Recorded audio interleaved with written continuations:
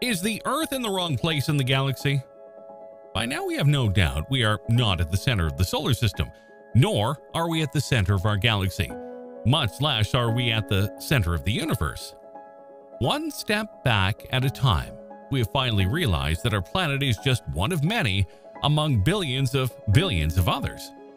Sure, a lucky planet it seems, favored by exceptional cosmic coincidences. But are we really sure? For example, are we really sure that the position where the solar system was formed in the Milky Way is just the absolute best? Could we have found better? Could we have found worse?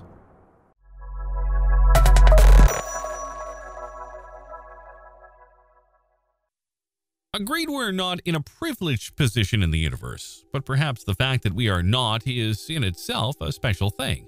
Who knows? But we are not here to hypothesize. Our purpose is to try to understand whether Earth's position in the Milky Way may have positively or negatively affected its own development. We all know that what we call the Milky Way is nothing more than the galaxy that houses our planetary system. In this case, it is a spiral galaxy about 120,000 light years in diameter. Just to understand what a boundless size we are talking about, one light year is equivalent to about 63,000 times the distance between Earth and the Sun. Its basic structure consists of a stellar component compressed into a disk about 1,500 light years thick. A disk filled with hundreds of billions of stars, dust, and gas, mostly arranged in irregular spiral arms.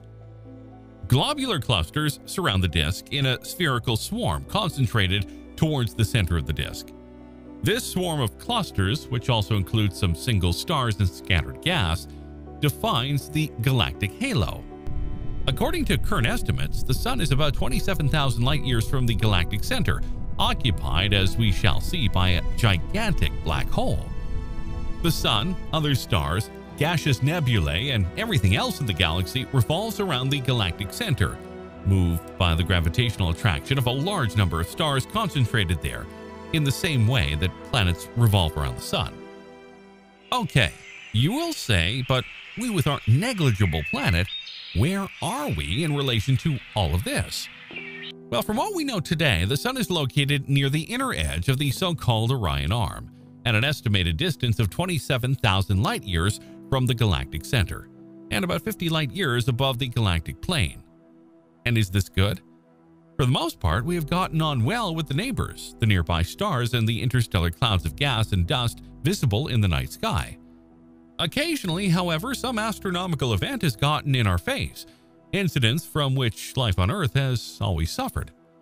It has been proposed, for example, that especially powerful stellar explosions of nearby stars, called supernovae, may have been responsible for one or more of the mass extinctions that have occurred over the history of the Earth.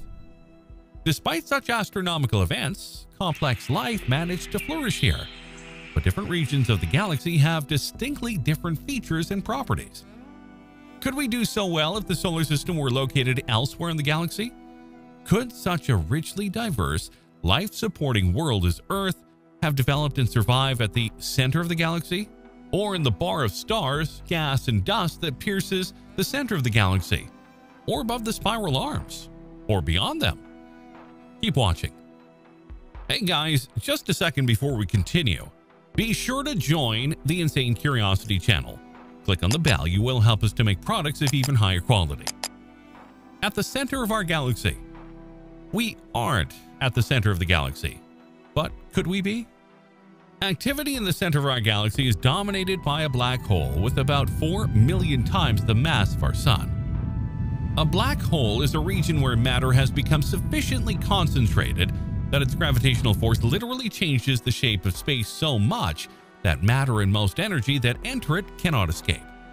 One exception to the rule of nothing escaping is the force of gravity created by the matter and energy inside the black hole, which does extend out into the rest of the universe.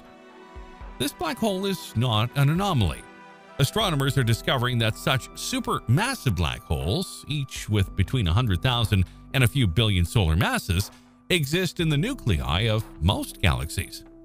The monumental gravitational attraction of the Milky Way supermassive black hole is the main arbiter of activity in the galaxy's center. Among the objects we see orbiting it as rapidly as planets orbit, the Sun is a full-fledged star. Plausibly, planets could form around such stars. But would these planets provide stable platforms on which life could evolve? Contrary to the common belief that black holes are giant vacuum cleaners in space that suck everything into them, weird effects only occur within a few radii of these objects. For example, if a black hole is a million miles in diameter, then bizarre behavior of space, time, matter, and energy occur only within 10 million miles of the black hole, which is a tiny distance on the scale of galaxy. Earth, for example, is 93 million miles from the Sun. At the distances that the stars closest to it orbit the Milky Way's supermassive black hole, you only feel a normal gravitational pull from it. But there is a problem.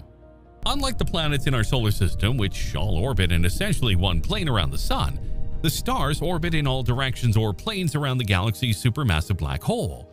They have very elliptical orbits around that black hole, meaning that throughout their orbit, their distances from it vary tremendously.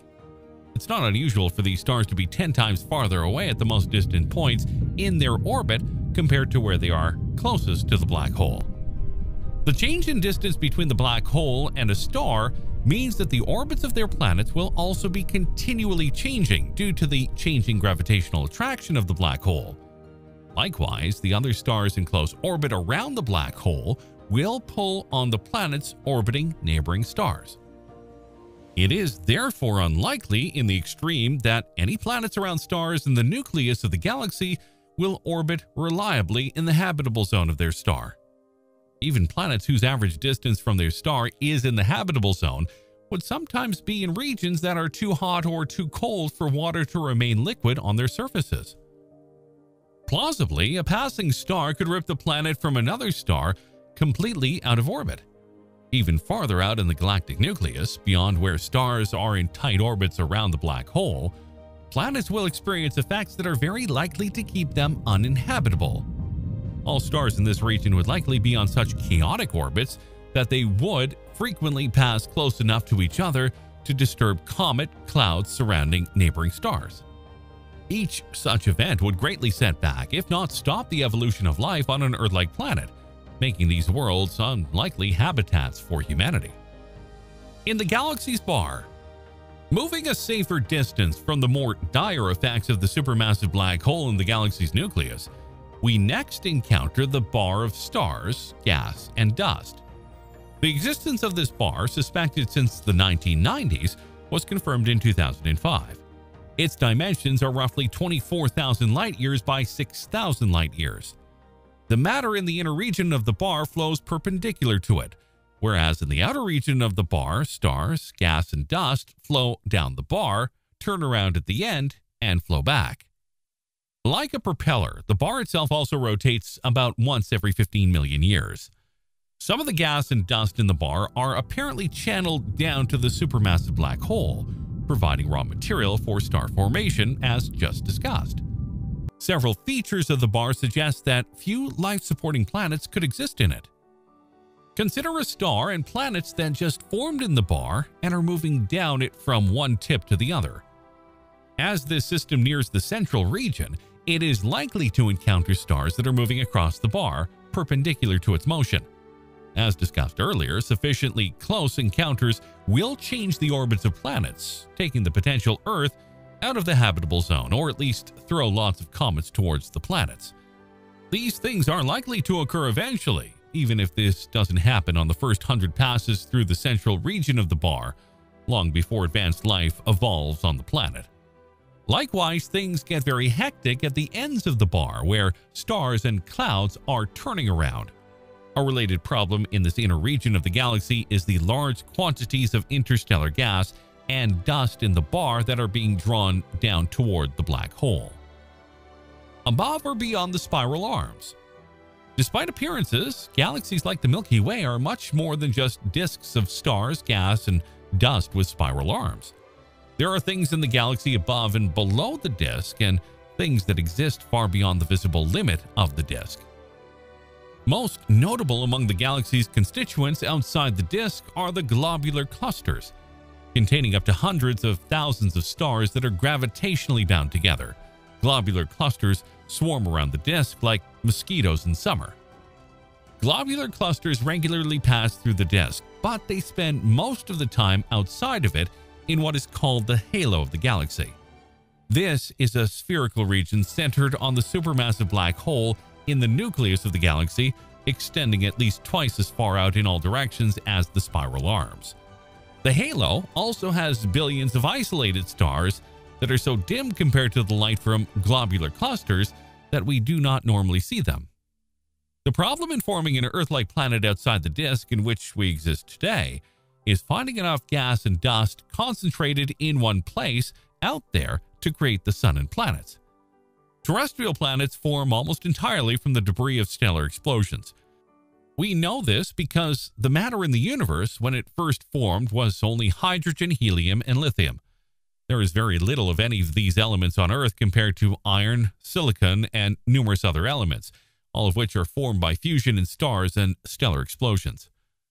A large fraction of the matter ejected when stars explode in the disk of the galaxy remains in the disk allowing this gas and dust to be recycled into new stars as it passes through the spiral arms. Our solar system must be at least a second generation system because so much of the Earth's content must have been formed in a previous generation of stars. The thing that prevents Earth-like planets from forming in the halo is that after the first generation of stars formed out there when the universe was young, the gas and dust ejected when these stars exploded did not remain sufficiently concentrated so that another generation of stars could form from it. Even in globular clusters, the gas ejected by exploding stars drifted away. Astronomers therefore see very few, if any, new stars forming outside the realm of the spiral arms. In conclusion, based on what we have just said, we can divide our galaxy into three zones, that of the center and central bar, the middle zone of the spiral arms, and the outer arms and halo with these final considerations. Within 13,000 light years from the center, too close to the galactic center, stars would receive intense X-ray radiation from the supermassive black hole at the center of the galaxy, and it is very unlikely that life could develop in such an environment. The center of the Milky Way is also much denser with stars than the outer regions. Supernova explosions are much more frequent there, and the radiation would sterilize any planet capable of harboring life. The stellar density and fast elliptical motion of stars near the black hole would also lead to continuous gravitational contention. Between 13,000 and 33,000 light years from the center, this is the habitable zone by definition. Planets have had sufficient heavy elements to form and initiate a biological cycle, as well as a stable and safe environment that allows life to thrive for a long time. Between 33,000 and 50,000 light years from the center, this region is rich in hydrogen and helium, while there is a very low ratio of heavy elements.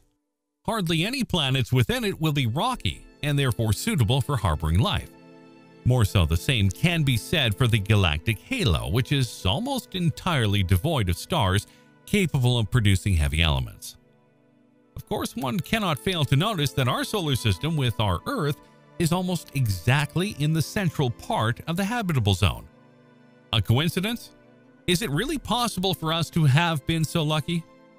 And does this mean perhaps that we should consider our existence almost unique?